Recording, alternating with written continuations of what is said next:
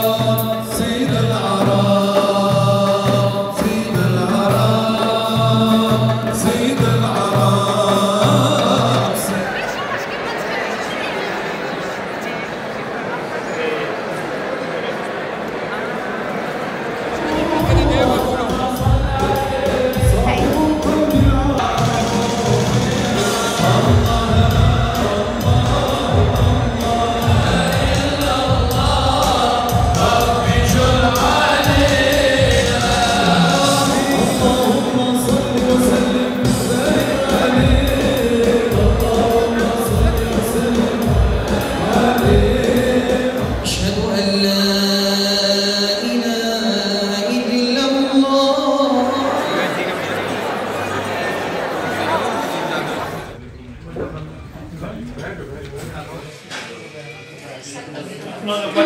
Programme نہیں ہے صرف چودھری ادریس صاحب کریں گے کہ وہ بھی یہاں تشریف لائے ہیں۔ ہم اپنی طرف سے بھی آپ تمام رمضان کا مہینہ ہے سب سے بڑی خوشی ہوتی ہے کہ ہم بیٹھتے ہیں۔ ایک دوسرے کی شریف میں مل بیٹھنے کی لہذا توفیق دے۔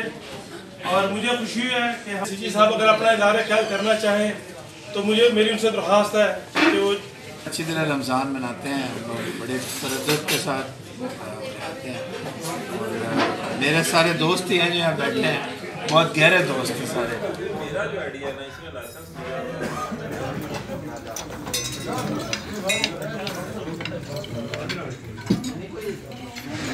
لگے رہو اپنے دھیان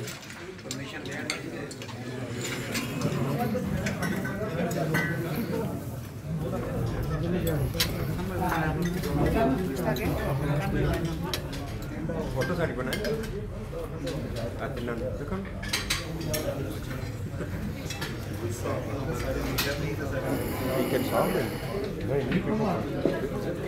جانا ہی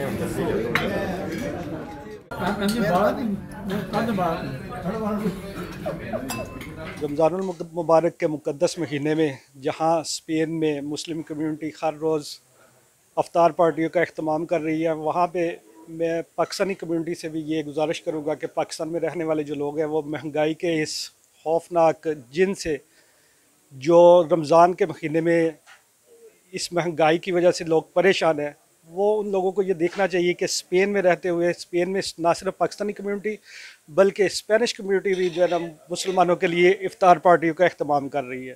جس کی وجہ یہ ہے کہ یہاں پہ کوئی مہنگائی کا اتنا زیادہ کوئی زور نہیں ہے، بلکہ اس کی وجہ یہ ہے کہ یہاں پہ عام طور کے اوپر جو یہاں پہ سینٹر کمرشل اور دوسرے جو یہاں پہ سینٹرز ہیں جو دکانیں ہیں وہاں پہ سیلیں لگائی جاتی ہیں اسپیشلی رمضان کے مقدس مہینے کے لیے تاکہ لوگوں رمضان کو شریف آتا ہے تو چیزیں مہنگی ہو جاتی ہیں۔ ہر ظہیرہ اندوز ظہیرہ اندوزی شروع کر دیتی ہیں چیزیں ملتی نہیں جبکہ یہی یورپ میں جب ان کا کوئی تہوار آتا ہے، ہمارا رمضان شریف آتا ہے، ادھر چیزیں بہت سستی کر دیتے ہیں اور اویلیبل ہوتی ہیں سب کچھ۔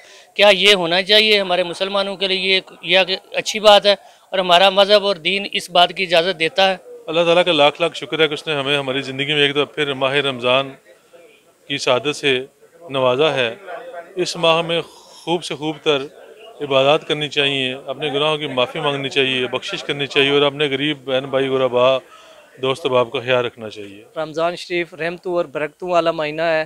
اس میں افطاری کا وقت افطاری ہوتی ہے اور تمام لوگ اس میں شرک شرکت کرتے ہیں اور ثواب ادارے حاصل کرتے ہیں۔ اس کے ساتھ ساتھ غریب اور ناد نادار لوگوں کی خدمت بھی ہوتی ہے اور ثواب بھی حاصل ہوتا ہے۔ رمضان شریف اللہ تعالیٰ کی رحمتوں کا مہینہ ہے۔ اس میں خدا کی رحمتیں نزول ہوتی ہیں اور ہم لوگ مسلمان بھائی سب اس میں افطاری کا اہتمام کرتے ہیں جس سے ثواب بھی حاصل ہوتا ہے۔ اور اس کے ساتھ ساتھ بہت سارے بچھڑے ہوئے دوست کا ملا- کا ملاقات کا ٹائم ملتا ہے اور آپس میں محبتیں بڑھتی ہیں۔ یہ رمضان ایک بابرکت مہینہ ہے جس میں ہمیں موقع ملتا ہے کہ ہم اپنے دوستوں سے روزانہ کی بنیاد پہ ملاقات ہوتی ہے۔ اور میں سمجھتا ہوں کہ اس ماہ مبارک میں ہمیں اپنے ان دوستوں کا بھی خیال رکھنا چاہیے جو صاحب حیثیت نہیں ہیں، جن کے کچھ معاملات فنانشلی ٹھیک نہیں تھے۔ ان کے لیے مدد کرنی چاہیے، چاہے وہ اسپین میں ہوں، پاکستان میں ہوں، ان کو ہمیں یاد رکھنا چاہیے اور رمضان میں زیادہ سے زیادہ ہمیں کار خیر میں اس طرح حصہ لینے چاہیے کہ دوسروں کی مدد کرنی چاہیے۔ احساس، قربانی اور رواداری کا مہینہ ہے۔ ہمیں چاہیے کہ اپنے غربا و مساکین کا زیادہ سے زیادہ خیال رکھیں اور ان کو اپنی خوشیوں میں شامل کریں اور اب ہمیں چاہیے کہ افطار میں خصوصاً ان لوگوں کا خیال رکھیں جو کہ اس چیز کے مستحق ہیں۔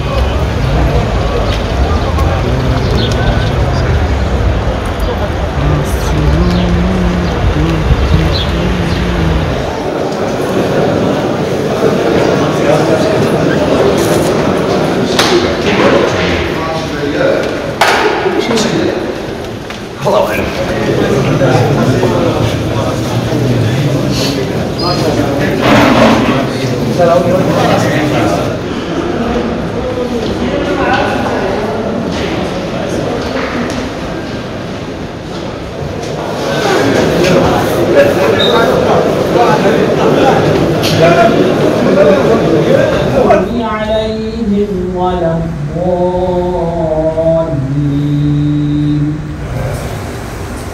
اللهم آمين